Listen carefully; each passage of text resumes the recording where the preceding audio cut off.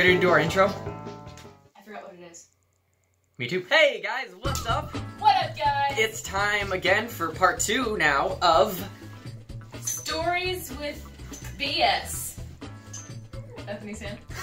When we last left off this story, Jonathan, our hero, built Jonathan wants Jonas. had built a time machine in order, uh, accidentally, in order to eliminate snow from the world. And what has just happened to Jonathan in his hijinks? Lord Arthur has accidentally taken the time machine to the wild and woolly west. No, we're not there yet. My bad.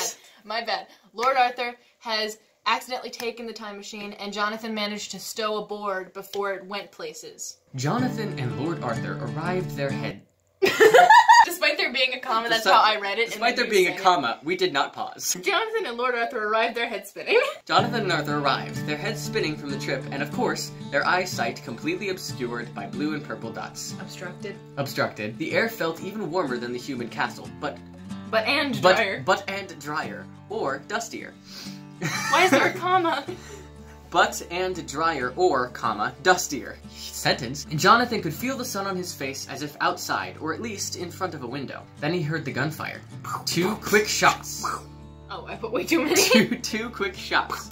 One right after the other, followed by a deep groan. As Jonathan's eyesight slowly came back, he saw where he was and internally groaned himself. He internally groaned himself. Oh no! You're covering the light. Well, I have nowhere else to go. You want a chair? Get a chair. I don't have a chair. Go get a chair. I don't know where to get a chair. Find a chair. He was in the Wild West, of course, and that didn't bode well in his mind for Lord Arthur, the deadly noble swordsman. He saw the crowd first. Well, crowd may not be the best word since they were all spread out in different places, apparently coming out of hiding. Then Jonathan noticed the sheriff. He was walking calmly over to a slumped over man, gun in hand. The slumper, the slumper, I love that. the slumped over figure was holding his arm with a with a dropped gun to his side. Blood could be seen underneath his hand. From what Jonathan could tell, the sheriff had shot the man in the arm, and the crowd was slowly coming back out after whatever scene had just played out. The sheriff pulled the rather scruffy-looking man to his feet and started leading him across the street to the sheriff's office. Jonathan took all this in within half a minute of arriving and just now glanced to his right at the Jonathan took all this in within half a minute of arrival and just now glanced at to his right at the red time machine chair. It was empty. Frantically, Jonathan stood up quickly and looked around. He spotted Lord Arthur not far away, but walking steadily to catch up with the sheriff. That can't be good, Jonathan thought. Just as the sheriff led the man inside to the sheriff's office, Lord Arthur arrived at the front steps of the door, and without hesitation, stepped inside. Oh dear, Jonathan said aloud as he jogged after them. He heard a surprised shout from inside, followed by angry ones. Then he made it to the steps and hopped up them to the door Hopped up them. to the door. the cell door shut with a loud clang as Jonathan pushed open the door. These bars shall not hold me. Jonathan heard Lord, Ar- Lord Arthur shout. I seek only peace for my city. Listen, I don't know who you are or what you're doing, but you better put that sword away before I have to shoot you. Came the reply shout from the sheriff. The sheriff was standing with his gun ready and pointed at Lord Arthur. The other was standing sword drawn in a cell. A second cell held the other man, whom was laying on the cot, still holding his arm and slightly moaning. When Jonathan came in, the sheriff heard him and swi- swirled around, his gun following the motion and ended pointing at Jonathan. Who in the misty mountains are you? The sheriff didn't seem to know what to do, but he wasn't about to take any chances. Before Jonathan could even get a word out, the sheriff had grabbed him by the arm and thrown him inside the second jail cell. Wearily, Jonathan looked at the scruffy fellow in the same cell on the cot. He wished the sheriff had put him in Lord Arthur's cell, but it made sense not to fiddle with the sword. Just then, a man came into the sheriff's office wearing a deputy badge and a frantic expression that matched that of the sheriff's. Sheriff, he gasped. There are two Don't read, he gasped. That's me. Oh, sorry. Those two strangers! No, no, no, start over. Sheriff, He gasped. those two strangers you got in the cell appeared on a big old chair sitting there in the middle of the street, and the townspeople are getting all upset over it. What do we do with it? The sheriff turned his wide, bewildered eyes first in the direction of the sword, then at Jonathan, then out the window at the small, confused riot taking place around the odd chair. After a moment, a change appeared in his face, and he took charge again. James, obtain that blasted sword. He commanded. Then bring the doctor to tend to old Jed. He gestured out over to the man on the cot. Then wait here for me. I'll attend to the chair.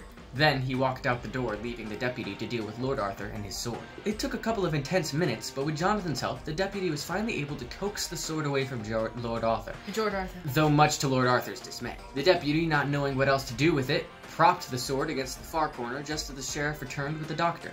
A bit of relief was notable on the sheriff's face when he saw Lord Arthur did not have his sword anymore. I've only now just noticed you have absolutely zero female characters.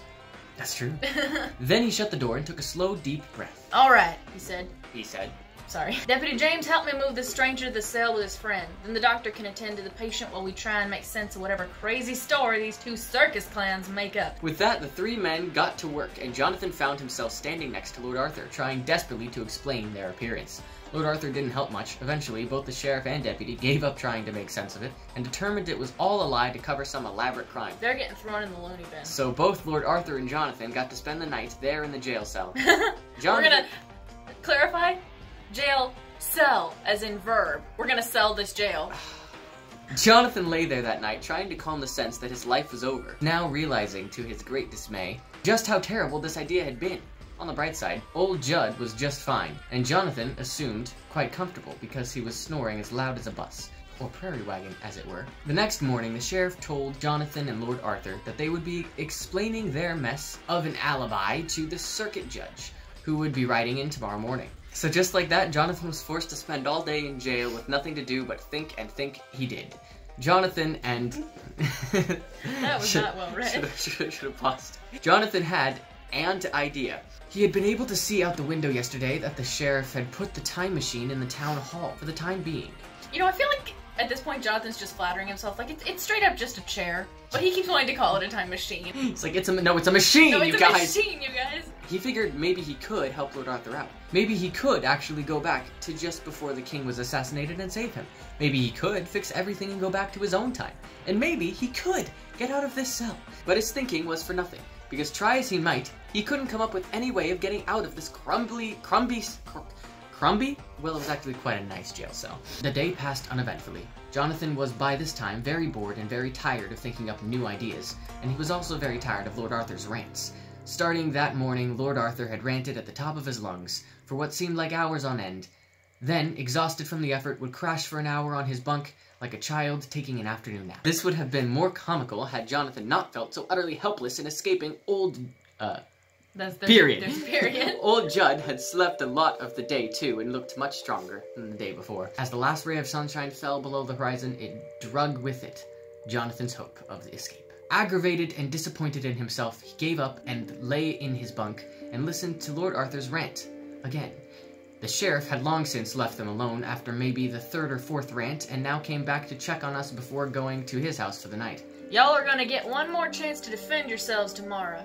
I'd suggest you both get on the same page about what you're gonna say. With a sigh, odd advice for a sheriff. I know, right? With a sigh, Jonathan watched him put the keys on the far wall and leave the room. Nothing to do now but sleep. Tonight he found it much easier to get to sleep without the snoring of old Judd. But wait a minute, you say. What happened to old Judd?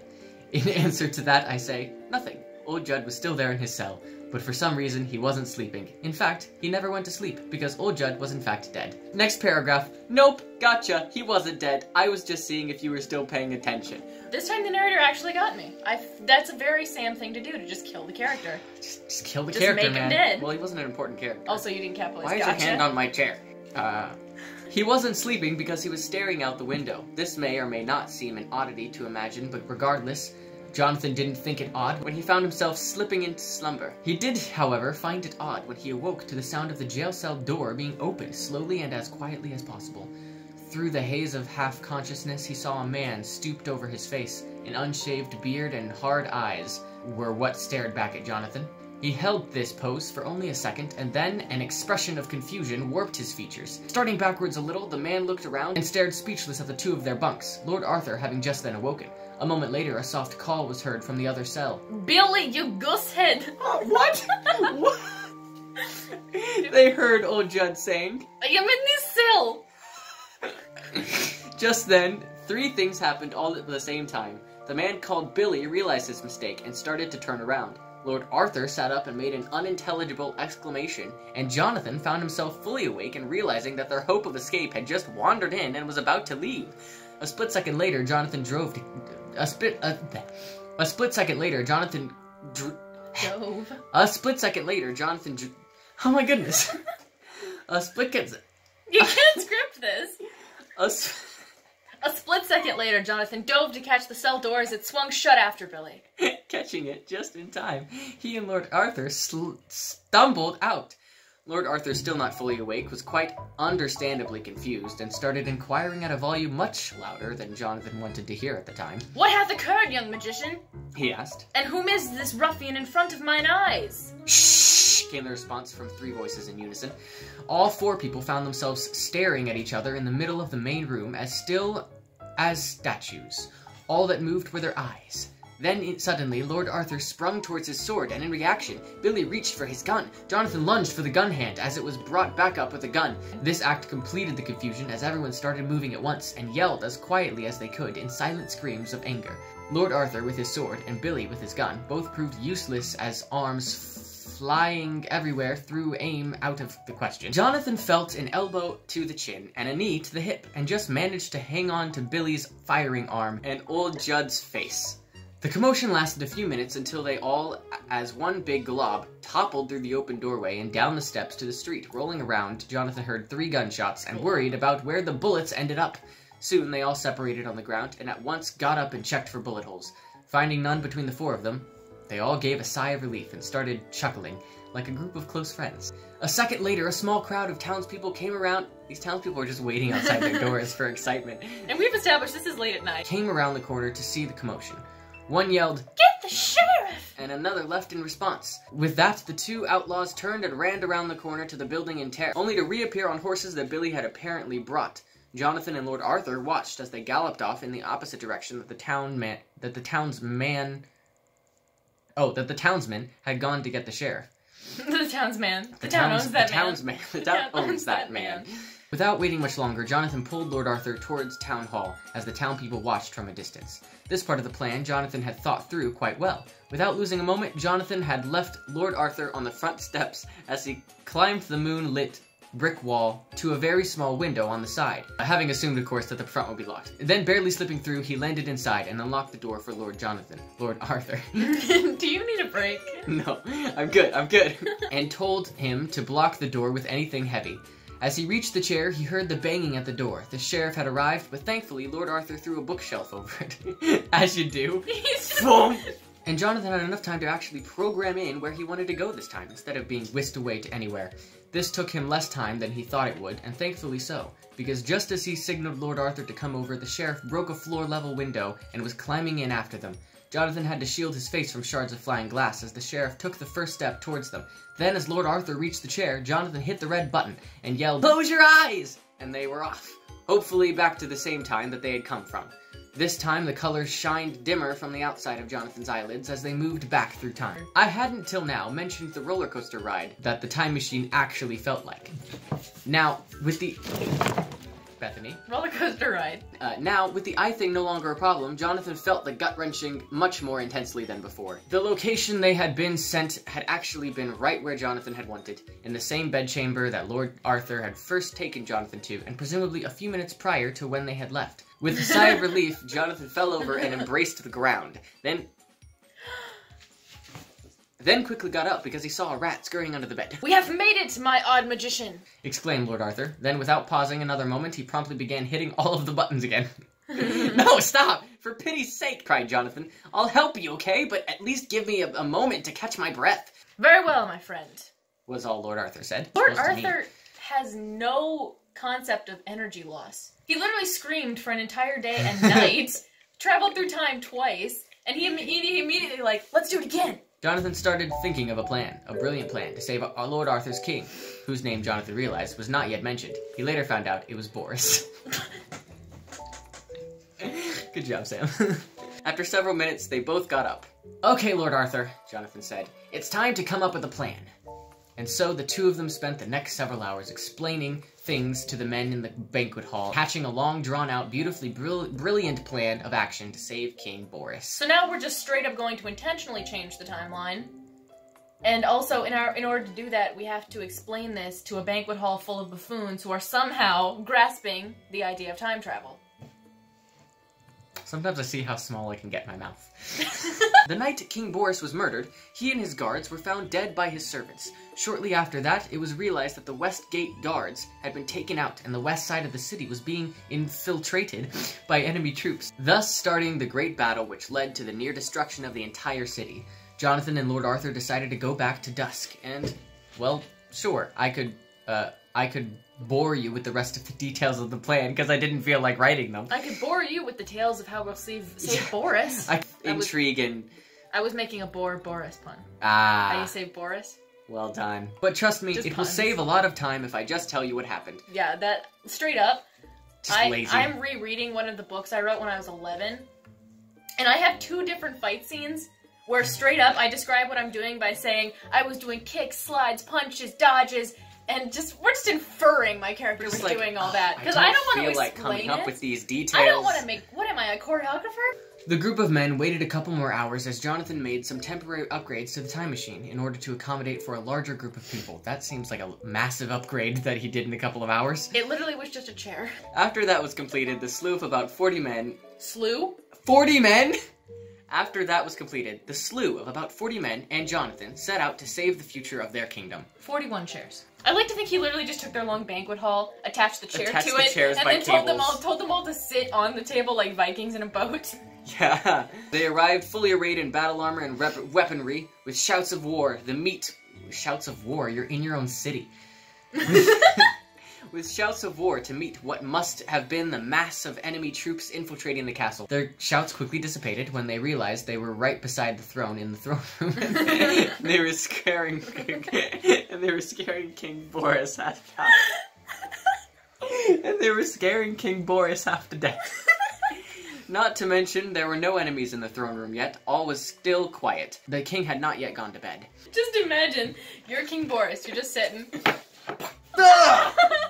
So, having this free time on their hands, Jonathan and Lord Arthur got the men in place and quickly explained to the king the unbelievable tale of what they were doing there. Jonathan let Lord Arthur explain it as a magic thing instead of trying to explain a time machine to a medieval king. It took more time than expected for anyone to show up, but when they did, it was not what they had anticipated. In fact, this was why I didn't go into details of the plot. It turns out that the, that they oh, were this is why. it this is why. it turns out that they were way overprepared and that the king's murderer was actually just a handful of enemy spies who had stealthily uh, killed all of the guards one by one on their way to the throne room. And after entering the room, they were quickly cut down by the allied troops uh, positioned in hiding throughout the room. It would have been much better if instead of a small ambush group, it had just been like one scorned lover. But But no, what, what would have been really funny is if it had been like the handmaid who was like coming in for something for the king and just stabbed him and they were like, oh, it was her. Ah, Jonathan moaned. I didn't even get to use my makeshift flamethrower.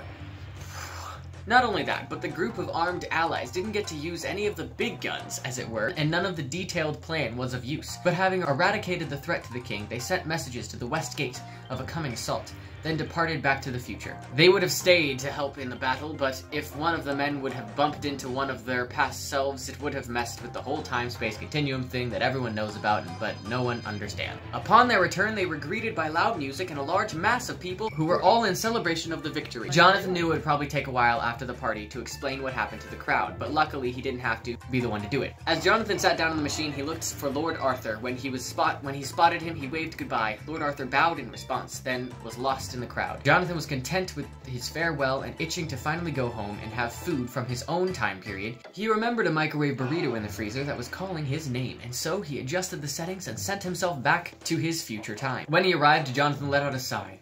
Then, after his stomach settled, he again felt the hunger and went upstairs for the burrito. He had learned a valuable lesson that day. Always remember to carry his twos. And also, that getting rid of the snow was still apparently a fictional idea. After lunch, he planned on dismantling the time machine because of its danger. He didn't care about the snow problem anymore, he was just glad to be home and relieved that the changes he made to history had not made catastrophic changes to the future, as it probably would no, have. a guy just completely got unmurdered. No Uh, changes to history there. That is, until he opened the freezer and couldn't find his burrito. In a panic, he quickly did some calculations and eventually figured out that the two outlaws he let escape in the Wild West, again, not even something even that him! was his fault. Not even the one thing that wasn't his fault, the thing that was gonna happen. as opposed to all the All other right, things all he's right, trying to- all right. Let me tell my story. The two outlaws he let escape in the Wild West had caused a ripple effect and to eventually prevent the invention of the microwave burrito. That was something Jonathan simply could not stand for. So, with determination, he headed back to the garage to change his fate, and he adjusted the setting of time and place on the machine. He declared, "Uh, "It's a good thing I haven't gotten rid of this time machine yet." The end. What a what a inspiring final line. You know what? It's okay. Because what really happened was the not murder of King Boris is what resulted in microwave burritos never being invented. But He just forgot to Jonathan carry the forgot- two. Oh no! I stole your joke. stole my thunder! I was gonna say that. I was. that was good. Wow. Oh, this is so sorry. Ready? We're gonna say the end at the same time. The end. How did I? I rate these things right on a scale of one to ten pages. Two. So on a scale of one to ten pages, I would rate that. Uh, I'd rate it on the third page. Yeet. Yeet. See y'all next time.